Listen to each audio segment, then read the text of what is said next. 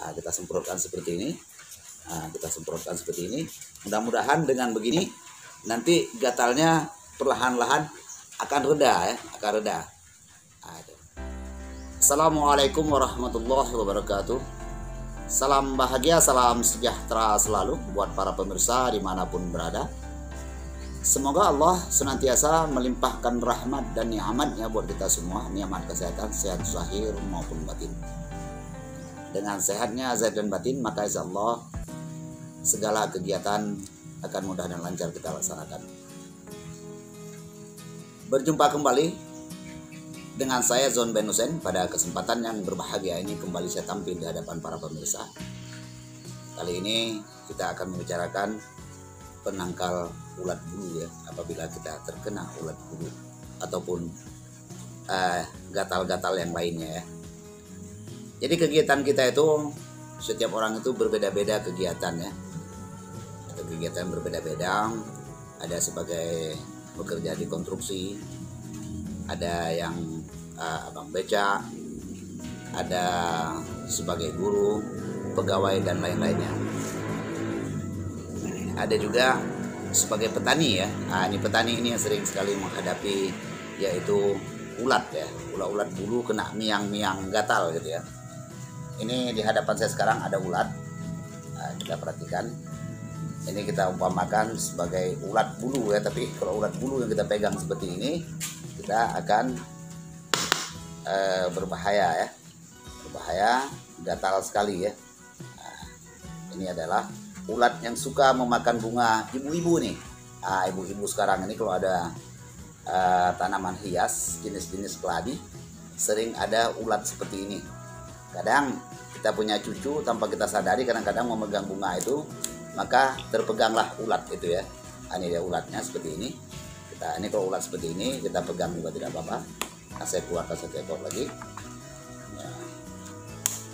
Jadi apabila nanti kita terkena uh, cucu kita ataupun diri kita terkena oleh ulat sejenis ini ya ataupun ulat bulu uh, apa penangkalnya dan langkah apa yang harus kita ambil nah itu ya atau juga kadang itu sering kalau kita pada malam hari ya pada malam hari kita sering timbul biduran ya. Biduran itu adalah jenis gatal yang tanpa diduga kadang-kadang ya, bisa disebabkan oleh iritasi.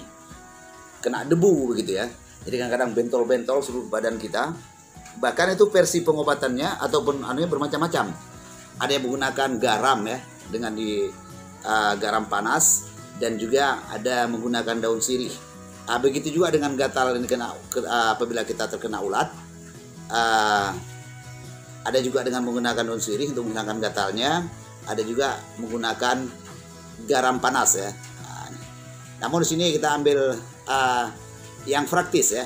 Yang praktis. Jadi hendaklah kalau di rumah itu kadang kita ada hand sanitizer, hand sanitizer ataupun parfum.